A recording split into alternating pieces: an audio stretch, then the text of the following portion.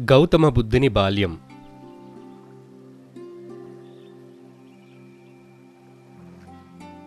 రోజులు గడవసాగాయి.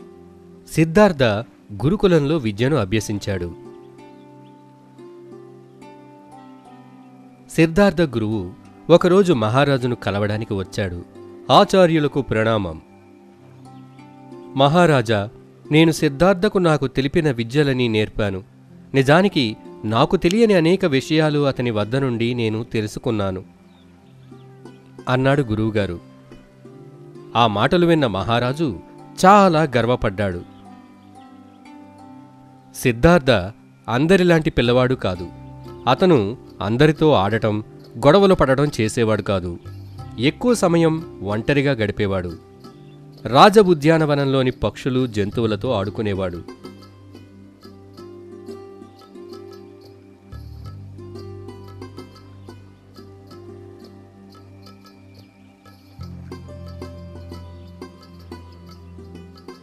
ఒకరోజు సిద్ధార్థ ఉద్యానవనంలో కూర్చుని ఆకాశంలో ఎగురుతున్న హంసలను చూస్తున్నాడు.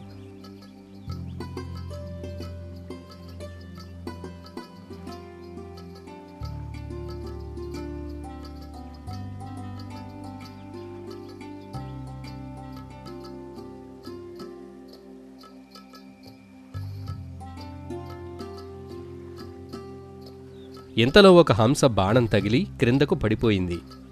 సిద్ధార్థ దానిని ఎత్తుకొని ఆ బాణాన్ని తొలగించి దానిని ప్రేమతో నిమిరాడు.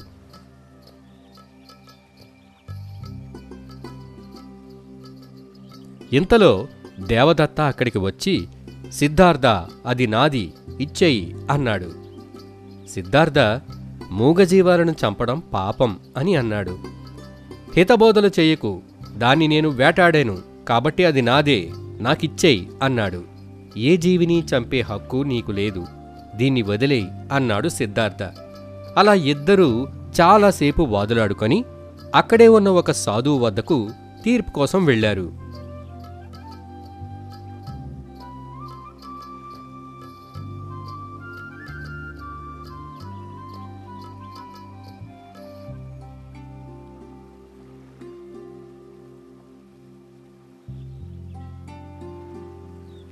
ఏమిటి రాకుమారులారా ఎలా వచ్చారు?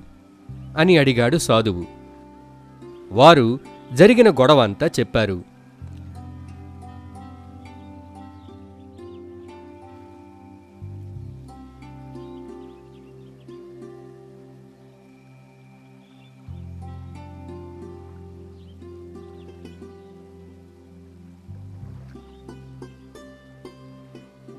ప్రతి జీవి జీవించడం కోసమే దేవుడు సృష్టిస్తాడు.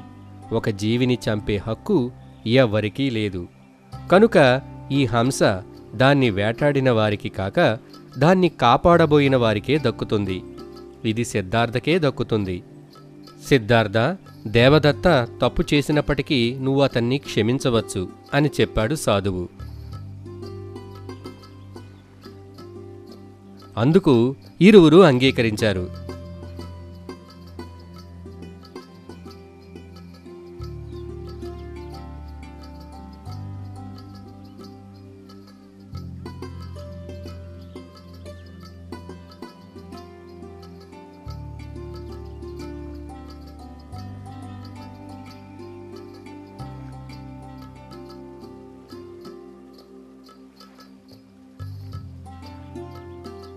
ఆ తరువాత ఆ సాధువు పాముగా మారి అక్కడ నుండి అదృశ్యమయ్యాడు.